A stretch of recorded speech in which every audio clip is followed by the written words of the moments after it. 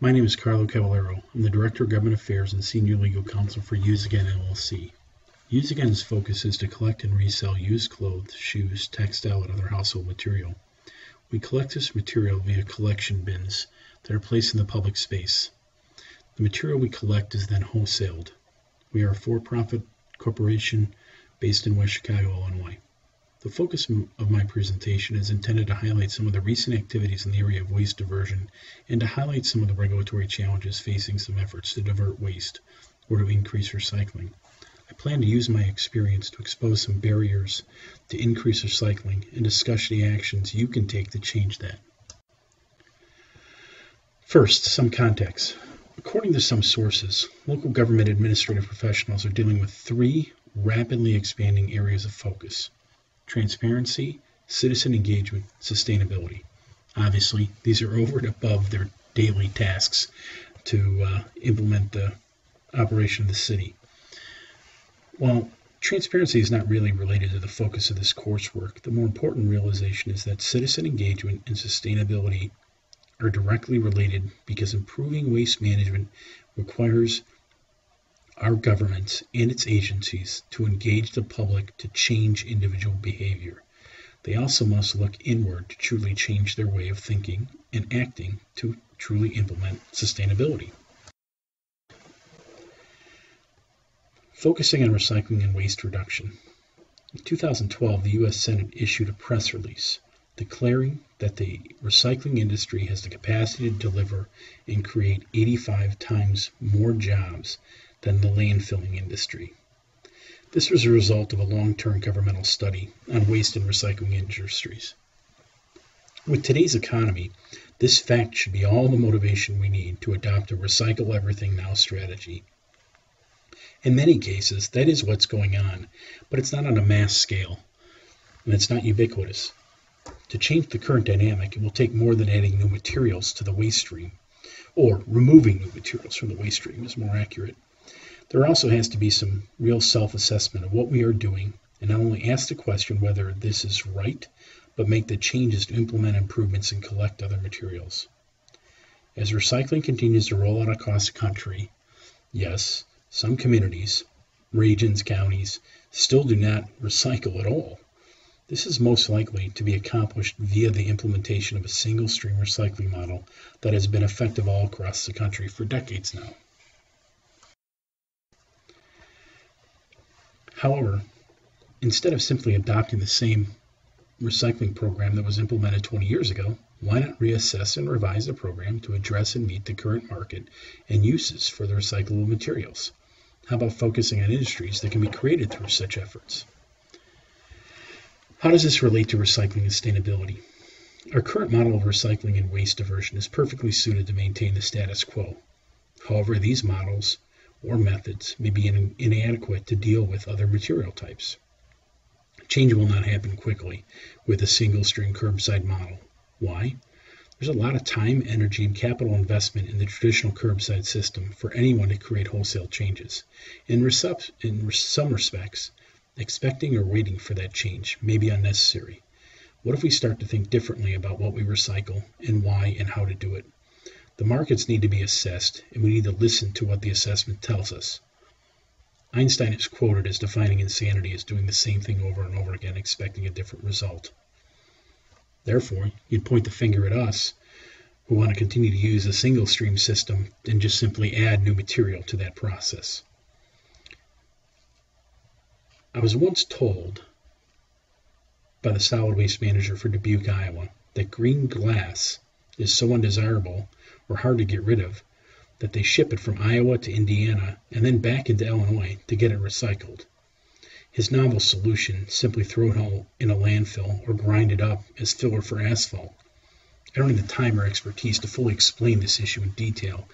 However, the basic premise is that it takes more to recycle green glass at an increased cost, and the market is simply not the same for green glass versus the other. Thus, it has a lesser value. If you exempted green glass, that is, from recycling, the overall cost of recycling glass should drop, and the markets for recycled glass would be solidified by not having to address this lesser valuable, potentially problematic material. For the record, from his perspective, glass itself presents no harm in the landfill, and it can easily be used as filler in their various construction projects. After all, it's a lot simpler to differentiate green glass from clear while we're in our home than it is the recyclable plastics for those that are not. Well, at least that's my perspective. Alternatively, you continue to collect green glass, you just don't send it through to recycling. That should create a new market for its uses as well. This is a great example for the need of specialized collection, processing, and redistribution networks to really increase our recycling rate and waste diversion. Here's another example. Rewall is a company in Des Moines, Iowa, once again in Iowa, that makes drywall alternative from compressed milk cartons. Rewall collected the discarded milk cartons from the local schools and diverts them from the waste stream to make their product. The milk cartons' wax coating made them not easily recyclable with cardboard. Thus, the supply being readily available and expandable, the creation of this new drywall product created a self-sustaining waste diversion model. Now, to throw in a sustainability practice, the implementation of a public policy to utilize Rewall's products in all governmental construction products helps sustain the market for the material which in turn sustains the motivation to divert this material from the waste stream. In short, it is important to note that this is all at no cost to anyone and actually creates a positive economic benefit. shifting gears. How do we start to change the public policies that are standing in our way? Let's start with how we look at waste and recycling, and in the process, completely overhaul the definitions and term we use in the process. This past fall, the Illinois Recycling Association voiced its support to the following hierarchy for waste reduction, which was presented to the Illinois Task Force for Advancement of Material Recycling. I'll talk a little more about the task force later. One is source reduction to reduce the amount of solid waste generated. Two, reuse of solid waste. Three, recycling of solid waste. Four, composting of solid waste. 5. Recovery of energy from solid waste. 6. Land disposal of solid waste. And 7. Simply burning or incineration of the garbage without energy recovery. Mind you, there's a lot of debate about what is reuse and what is recycling. Why does it matter? In one sense, it is just important that we be clear on which is appropriate depending on what we are discussing, but more importantly, money. Money in many cases in the form of governmental grants are provided for one term but not for another. Thus, a recycling grant may not be used for reuse, even though from some viewpoints, reuse is a better utilization of waste material. Just like the green glass example, we need to listen to the market and make the regulatory changes to make it work better. Source reduction is being pushed internally throughout the manufacturing industries largely motivated by consumer demand for more environmentally friendly and sustainable, sustainable packaging designs. From my perspective, this is a movement that needs no taxpayer money support, but deserves recognition. These initiatives are driven by corporate America's desire to be green, and more importantly, in response to the demands of their customers. We see it in our business in the form of clothing manufacturers and retailers partnering with companies like Use Again to close the loop and increase sustainability. Again, just one example that is familiar to me. The remaining components of the hierarchy are largely dependent upon the public policy decisions made at all levels of government. However, our ability to achieve the goal of this hierarchy, reducing solid waste to as near zero as possible, requires a lot of regulatory analysis and the will to make the changes necessary at all levels of government. What stands in the way of increasing collections? Closed minded regulators who only see stereotypes and the lack of an open mind? Governments need to be reminded of the need for new systems and to embrace innovation. We need to learn not to fear failure. We need to learn from our mistakes. The desire to follow best practices can conversely be described as doing things the same old way. In reality, it may be stifling innovation.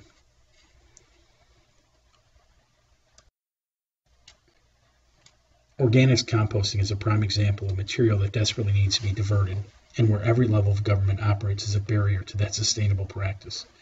What do you think would happen if we attempted to collect pumpkins after Halloween in order to compost them? Well, in reality, this would violate more than a few state laws, as well as several local regulations, and probably incur any number of citations and fines. All for doing what is naturally occurring process, the decomposition of organic matter into dirt. Actually, we would need a landfill permit under the IL EPA regulations. We can throw the pumpkins all out in the landfill, but cannot aggregate them on a farm to decay and be returned as compost one day. Do you find it odd that we can let them all rot on our front porches at each of our homes, but we cannot take them to the local park and compost them? I know another presentation focused on composting, but there's one thing worth repeating. Organic materials is one of the heaviest material in our waste, waste stream. Its removal in even small percentages would reap huge benefits. Imagine one day needing smaller, lighter garbage trucks.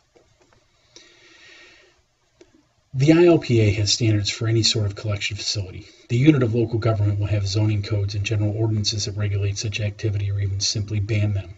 Then finally, the county, most likely through the health department, will probably have something to say. All this means costs and prohibitions. The general public, in many cases, stands in the way for no good reason. These are not all for naught. Many of these regulations have good standing and good reason. Breaking down the regulatory barriers. Our clothing collection bins face zoning and regulatory challenges on a routine basis. In nearly every instance, the diversion benefit is identified, but nonetheless, many bin bans are implemented in complete conflict with the municipality's overriding public policy directive to increase sustainability and specifically divert more waste and recycle more. Standalone collection bins have been used to collect unwanted materials for decades, if not hundreds of years. After all, isn't a trash can in the corner simply a collection bin for unwanted materials? The issue at hand is unintended collection bins are not specifically defined in the local zoning codes. The state level is not an answer, as to attempt to authorize them would require an override of local government's home rule authority. That always invites a chorus of complaints from local governments about unfunded mandates and an intrusion on their sovereignty over issues of purely local concern. One forward-thinking council member once suggested that he saw the future in using these bins to move toward zero waste without incurring costs to the government or citizens. He went on to suggest that our current view and policies on local zoning and regulations needed to adapt to the changing times.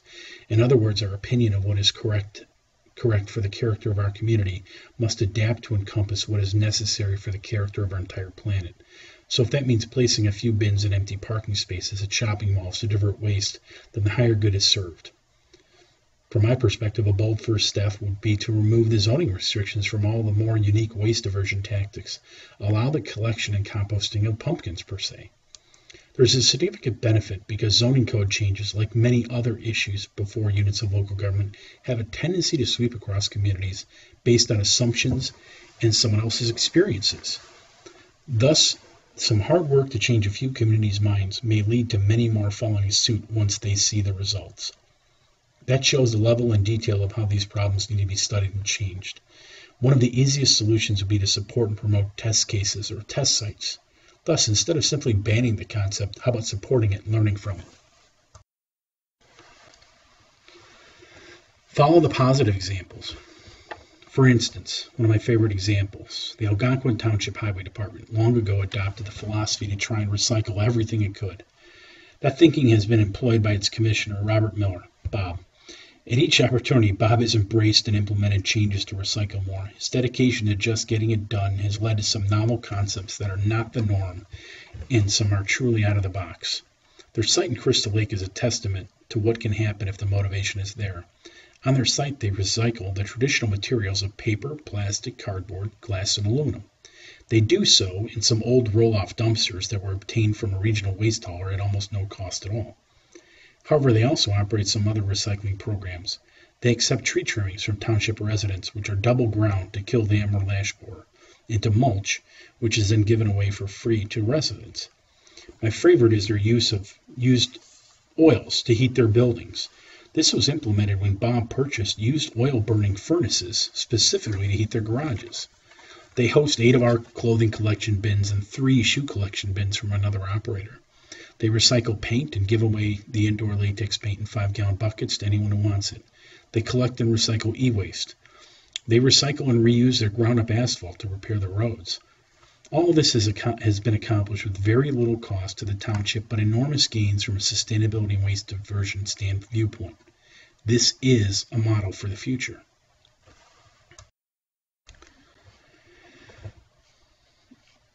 What can you do to change this cycle that thwarts innovation? Get involved.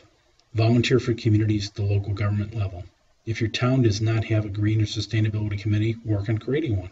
If your community does not have a sustainability plan, help them get one started. In closing, in 2012, the Illinois General Assembly passed House Bill 4986 that created the task force mentioned earlier. The mandate of the task force was to review the status of recycling and solid waste management planning in Illinois. The task force has been meeting for just over a year and has plans to issue a report sometime in 2015. In short, the process has just begun. The goal would be that after the issuance of the report, a public policy debate would ensue that should lead to the development and implementation of new plans and programs to increase recycling and promote waste diversion. Getting engaged now puts you on the ground floor of this process and provides the ability to affect real changes for the futures. Thank you for this opportunity.